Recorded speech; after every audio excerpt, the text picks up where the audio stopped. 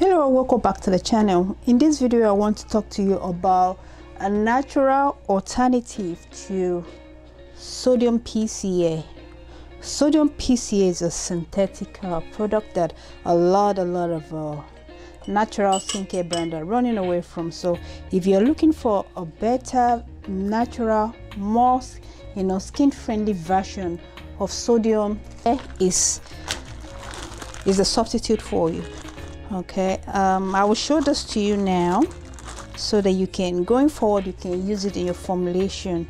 This is sodium lactate.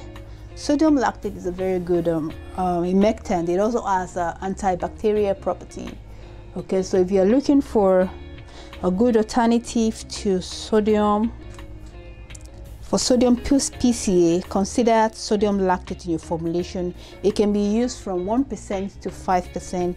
It's uh, really, you know, it's it has a very good humectant property and antibacterial property. Um, I remember a while back told someone that you don't really have to use this in your lotion. If you have a propanediol, you don't have to. But if your lotion calls for sodium PCA, you can easily replace sodium PCA with sodium lactate 60.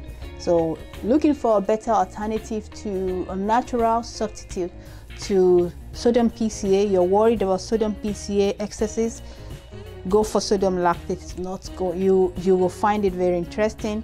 The antibacterial property is going to help your preservative and your, uh, especially we use it in the water phase, and it's going, the humectant property is also going to help your skincare product. But we don't usually use this all the time for making especially lotion so keep that in mind if you have a propanediol you don't have to use this okay if you have propanediol if you have glycerin you don't really have to use sodium lactate but if you if your uh, formula calls for sodium PC and you want to make the natural alternative, go for sodium lactate. So that's about this video. It's going to be as short as it is. It's a clear liquid, okay?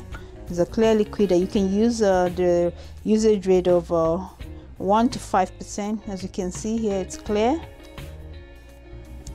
It's clear not thick it's uh, light and it's very very wonderful. I don't use it all the time in lotion. I really I can't remember last time I used it in lotion but sometimes you can include this in your cream okay?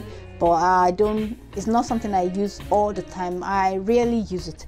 I will make another video when I use this okay?